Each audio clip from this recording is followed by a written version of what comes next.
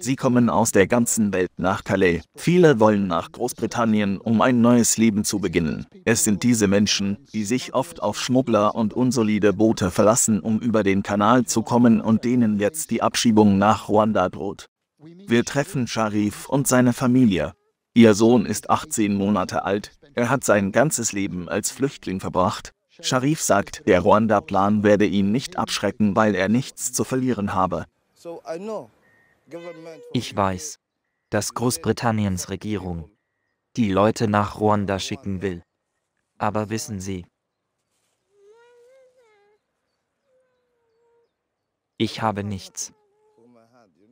Diese Wohltätigkeitsorganisation hilft Migranten, die entlang der französischen Küste leben, mit Lebensmitteln, Kleidung und Unterstützung. Die Freiwilligen hier mögen den Ruanda-Plan nicht und sie glauben auch nicht, dass er funktionieren wird, sondern Menschenschmugglern nur noch mehr Macht gibt.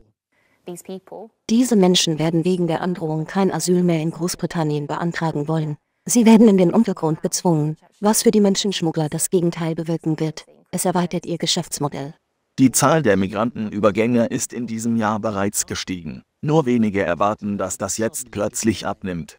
An einem klaren Tag wie diesem kann man die Küstenlinie von Kent durch den Dunst erkennen. Es herrschen perfekte Bedingungen für alle, die versuchen möchten, den Kanal in einem Boot zu überqueren. Tausende dieser Reisen haben im Laufe der Jahre von hier aus, dem Songat-Strand, begonnen. Das ist die Herausforderung für diese Regierungspolitik. Wird es wirklich jemanden abschrecken, der entschlossen ist, von hier nach dort zu gelangen.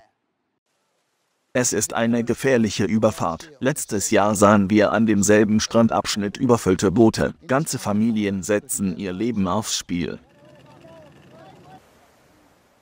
Aber die Realität ist, sobald man aus dem Irak, Syrien oder Afghanistan gereist ist und den ganzen Weg zu diesem Strand geschafft hat, mit dem Traum, ein neues Leben in Großbritannien zu beginnen, scheint die Ziellinie wirklich verlockend, vielleicht unwiderstehlich greifbar.